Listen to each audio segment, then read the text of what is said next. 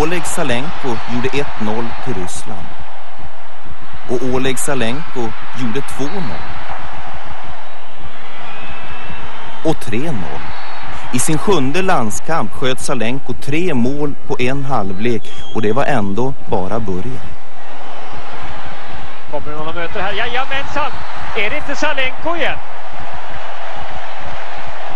Salenko vill ha bollen där, har han läge igen och han rullar in sitt femte mål. Topp mig 17!